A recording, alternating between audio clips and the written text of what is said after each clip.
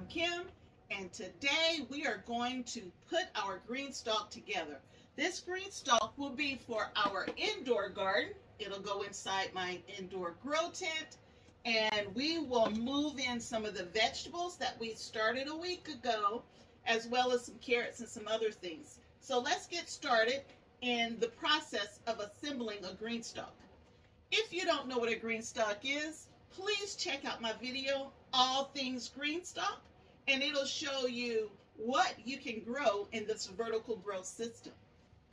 First thing that we need to do is prepare our soil. For the GreenStalk, you want to use a high quality potting mix. You do not want regular garden soil. You don't want just straight up like field dirt or anything like that. It needs to be a high quality potting mix. So you can make your own or you can buy um, a reputable brand. There are many different ones out there. I don't have a favorite. It's whichever one's on sale because I'm going to doctor mine up just a little bit. I have some Sta-Green um, potting mix in this container here. I also had a small bag of Miracle-Gro uh, moisture control potting mix. So I mixed those two together. And of course, there's not enough nutrients in those because they've been sitting outside at the local hardware store since the summer. I've added to that some peat moss to help with moisture as well as providing some nutrients. So this is peat moss. I'll be glad when the season's back in and I can get a, a big bag of this. And then to help, because you want to make sure that your soil is nice and loose. You don't want a thick, heavy soil where your plants can't, uh, the roots of your plants can't go down and get to the nutrition, the nutrients. So I'm adding some perlite as well to this mixture. So I've already put it in my container here. I've kind of mixed it all up together trying to make sure that I have um, a good mixture of those two different potting mixes as well as some of the nutrients here. I'll also be adding some Mycos to the mix. I'll bring you in closer when we get close to that step, but it helps with inoculating the roots for better root development. So we'll talk about that here shortly. The first thing that we're going to do is I am going to actually use one of the original um, planters and some of the leaf um, tiers. So I'm going to mix some of my tiers up together. I will be putting uh, bok choy, I believe, in, in the larger tier. I have to go look at my plan. And then we'll be putting lettuce and carrots in some of the leaf tiers. But the first thing we need to do is put some of the soil in this container. There is actually a line inside the container that says fill to the top. So my soil is already damp. Since I'm indoors, I thought that was a critical piece. If I was outdoors, it wouldn't matter. I would fill it up with soil and then I would put water over it to, to make sure the soil was nice and damp to start with. But I'm inside my grow tent. I don't have a lot of drainage options. So I made sure that the soil is already nice and moist inside this tote here before I'm even going to fill up the container. So let's get started filling up the first tier.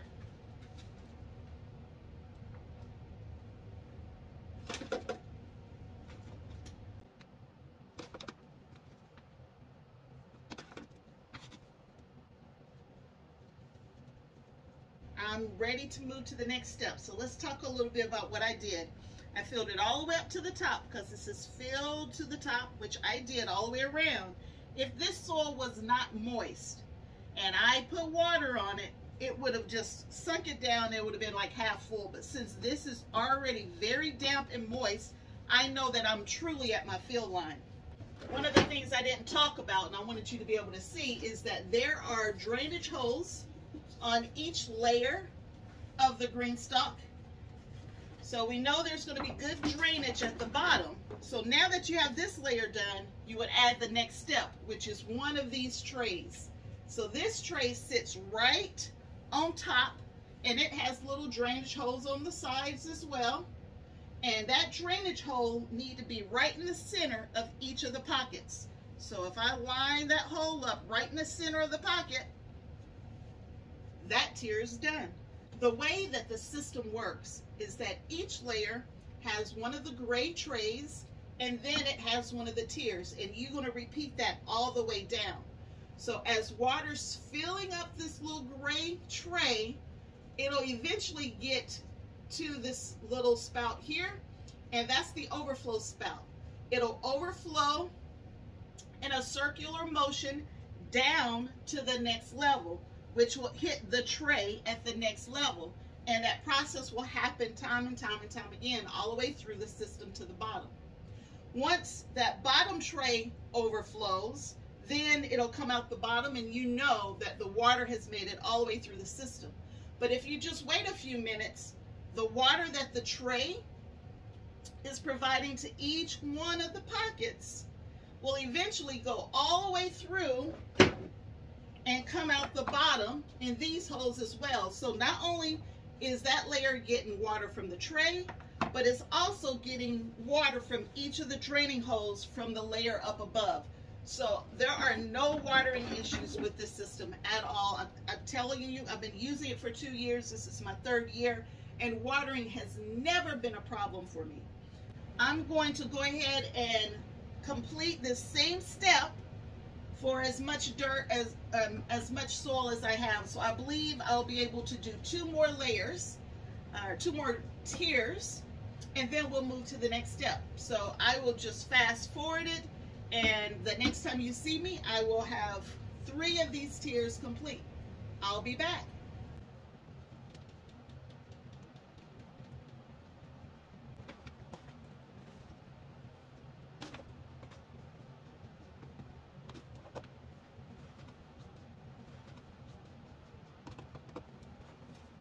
Okay, I have three of the tiers filled and Gizmo keeps photo bombing my screens here, but this is Gizmo.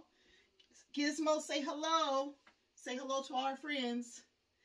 Anyway, so I have three of the tiers complete. The bottom tier has a gray um, tray on top of it. And then the next tier has a gray tray. The top tier for now because I'm only doing three tiers. When I decide to put an extra tier on or two, then I'll keep going up. But the very top tier doesn't get a gray tray. It gets this thing here, which is similar to the gray tier. But since the top one will not have all of the benefits of the holes from a tier above it, this is what you would use on the top. And this has a hole in the center which the water will go through this hole down to the next levels. And it also has itty bitty little holes that'll line up with each of the pockets of that particular tier. So I'm going to go ahead and put that in place. The other thing that um, I wanted to say is that it has these little places right here where it's going to hook on to that top tier. So I'll line it all up and we'll get going.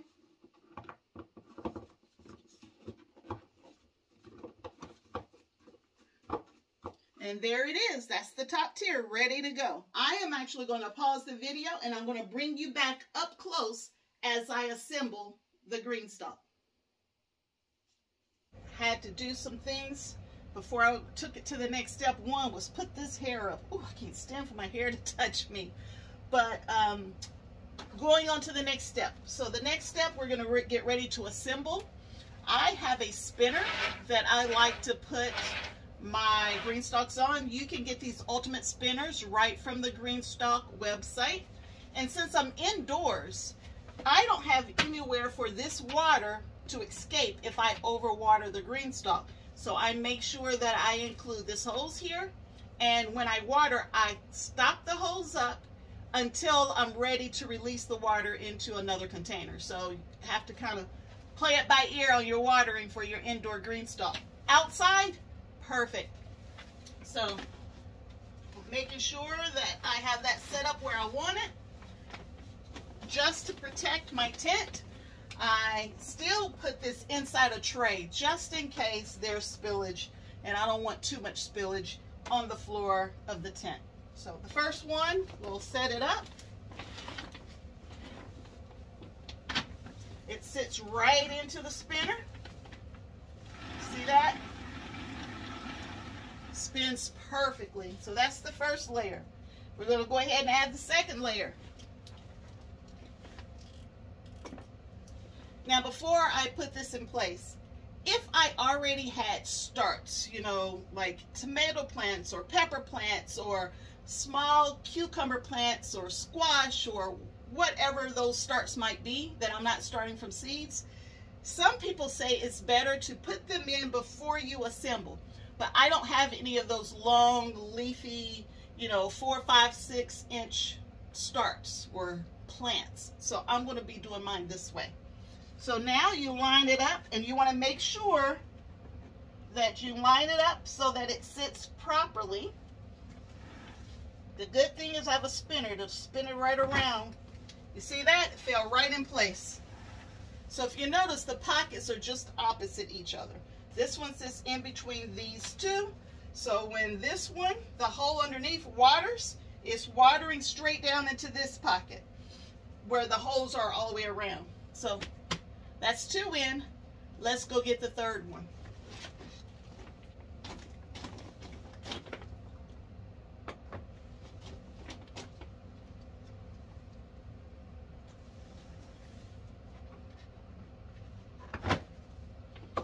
All right, there's another one in place. So I have a total right now, a total right now. So I have three layers six on each layer, I have 18 spots that I can grow 18 different vegetables right now if I don't do anything else. But I will be adding additional layers, at least two more before I'm finished in this space.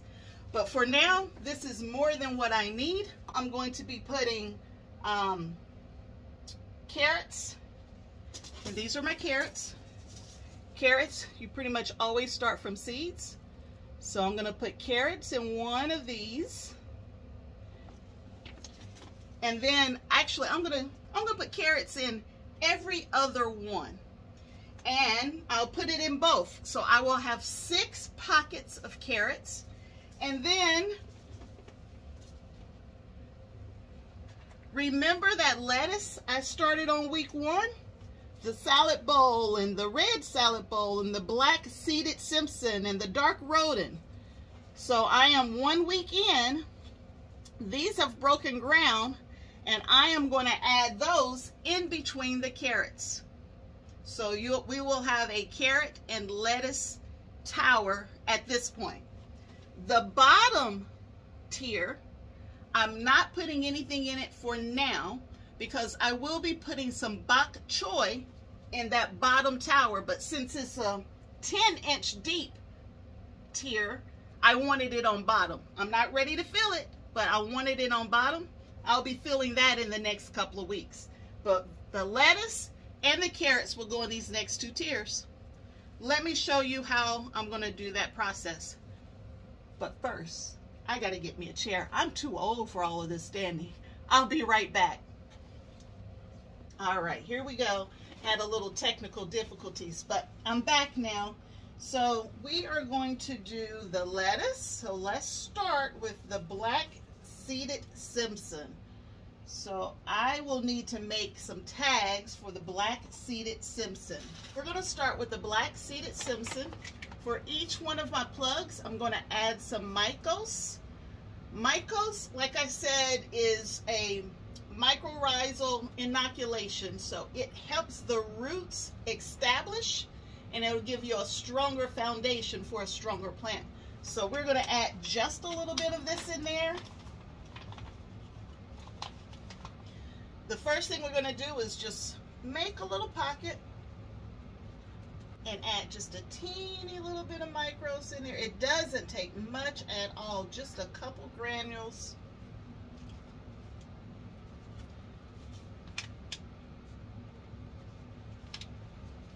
I'm popping out one of my plugs. And I want to show this plug to you here. Let me get another one out. Let me put this down so we can talk about that plug. So I want to show you the plug. since I don't pack my plugs so tightly into the soil, I want you to see how those roots are nice and wrapped around the soil. Honestly, the soil is a little bit too wet, but we're gonna make it work. And then I'm gonna just sit this right in here. Actually, that plug's so he healthy, I'm gonna split it into two pieces.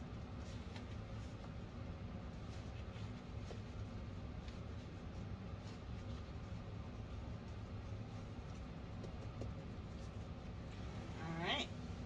Let's do the next one.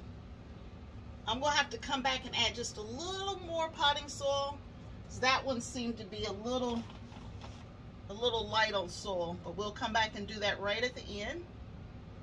So adding a little more of the Mycos. Plop this right in here.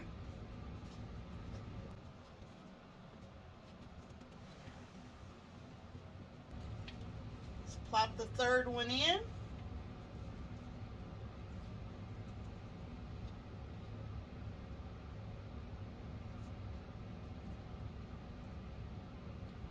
Very nice root structure. Oh, forgot my Mycos.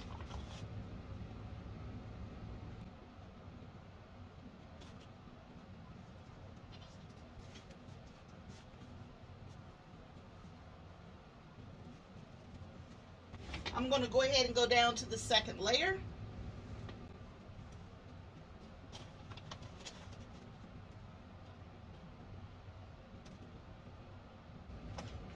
that's it for the black seeded Simpson. We'll go ahead and do some backfilling.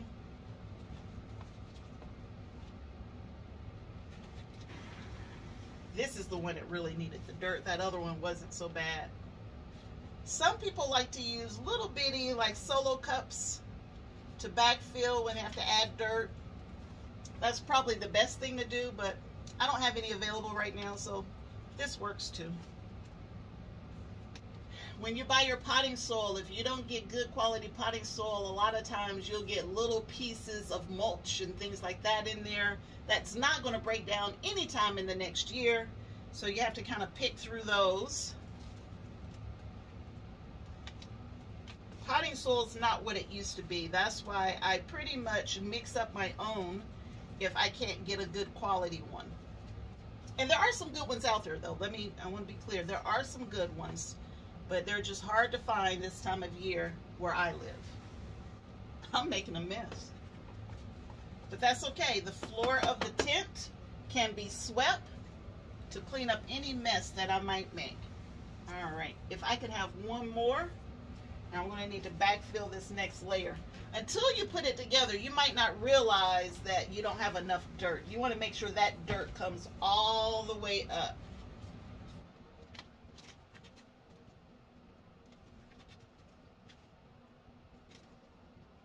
All right, so I need to add to the second layer two more types of lettuce. So I am going to add one of the red salad bowls and I'm going to do one of the dark uh, rodents. And then that way it'll give me a variety. If you follow me, um, when, I put, when I was putting the seeds in the seed trays, I was super heavy handed and so some of these had way too many seeds in them and I needed to split them. But the red salad bowl is looking pretty good. I don't think I'm going to have that issue with the red salad bowl. Let me pop that out.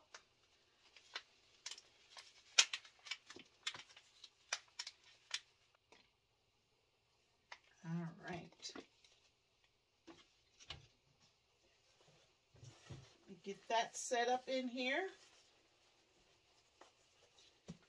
Label, label, label, label, label. So there's my label for the red salad bowl. Here's my label for the black seeded Simpson. And now I'm going to put in the uh, dark rodent in this cell here.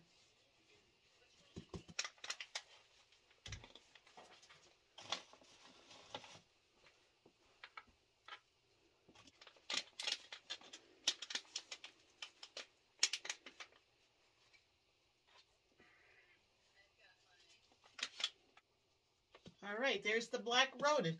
All of my lettuce that I'm going to use for now is in. The rest of this, I'm going to keep letting it grow. If it gets larger, then I'll just up pot it to another cell so that it'll be ready for me in the future. Now I'm going to work on the carrots. For the carrots, in the GreenStalk, you can plant up to three carrots in each pocket, but I'll be honest with you, I might end up with four, five, or six. But they still come out for me.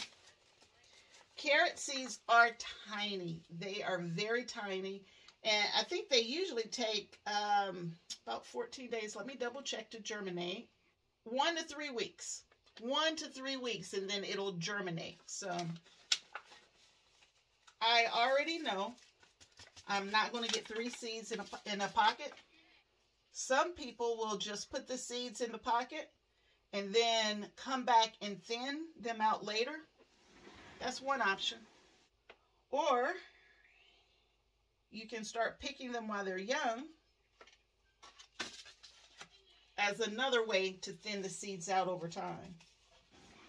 And then the last pocket. All right, so this particular, these carrots are called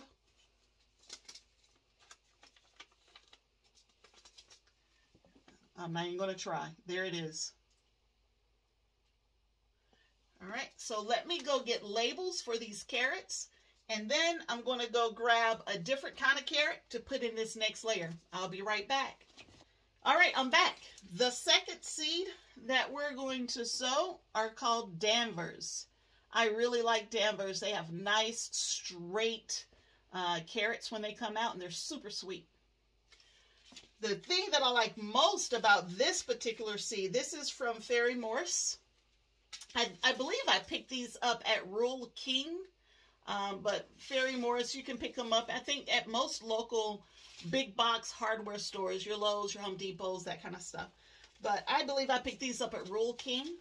But what I like about this particular brand is called So Easy. So there is a clay coating around each of the seeds. So you can actually see what you're doing. There's a red clay coating. I don't know if you can see that or not. But now I can see how many seeds I'm actually sowing. So let's see what we're going to do here. One, two, three, four, five. Five looks good to me. Now, I know I haven't covered any of these up yet, so we will come back and cover everything up. Now, GreenStalk says that you can put three carrots to a cell, and you can put carrots in the original or the leaf planters. The original is a 10 inch pocket. The leaf planter is a 7 inch pocket. So let's see what it says, how we cover these up. These need to be covered up a quarter of an inch to a half inch deep. So I think what I'm going to do is put my gloves back on here real quick. And I'm just going to poke it down a quarter of an inch. My helper's making me some labels right now. Tina is a big help to me. I'm actually not feeling so well today, and she did some errands for me.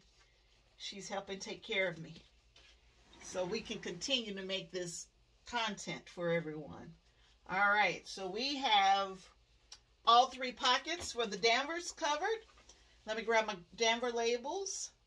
And then I'm doing my, um, whatever that other name was. Yeah, the, let me mess it up real quick. The Dulcine, Dulcine, Dulcine, maybe, carrots. So, unfortunately, since they don't have a red clay coating, I can't see these carrots. They are lost forever, but they're in here. So, let's Give them a good toss. Let's put a tag on. Give them another good toss here. Hopefully I'm not putting them on top of each other. Give it a nice tag. And then the last one here. Nice toss and a tag. Voila. Oh, I still need my Danver tags.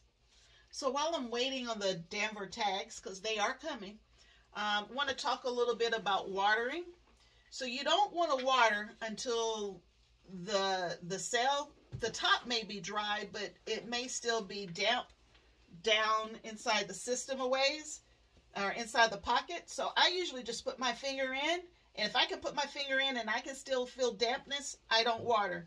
If I can put my finger in and it's dry, then I'm ready to water. So that's how I think about watering. And you got to remember when you're watering, you're watering the whole tower. One of the other things that I didn't tell you about this tower is that the bottom, the the leaf, excuse me, the original planter, this um, tier takes about eight gallons of soil, about eight gallons. The leaf planter, which is only seven inches deep, takes about six gallons of soil. So kind of give you an idea of how much soil you'll need. The top is ready to go, but one of the things uh, you want to make sure is that you don't get excess dirt and debris in the top because it's a system. It all works together. So I'm going to grab a towel and clean this out a little bit because I did get some soil up there. Because if the holes are stopped up, then that means every cell's not getting water. It will not water water evenly if something's clogged. All right. That's one of the things you really have to watch out for outside as well with leaves and trash and debris and that kind of stuff. So you want to make sure it stays nice and clean so that it functions the way it's supposed to. So there you have it. Carrots and lettuce ready to go. I want to show you what this can look like once it's in full bloom. So here's a picture from my 2022 garden of a GreenStalk that's full of carrots and lettuce and tomatoes and all kinds of other yummy goodness. I mean, it's it's a salad in one spot. Everything you need is right here. So here's a couple pictures to send you on your way. Thank you for joining me in setting up this GreenStalk we have much, much more to do. If you're interested in one of these, follow my link. You'll get $10 off of your order and you can start your vertical garden. Thank you very much. If you like the video, please give me a thumbs up. Please subscribe. Have a wonderful, safe day. Enjoy growing. Bye-bye.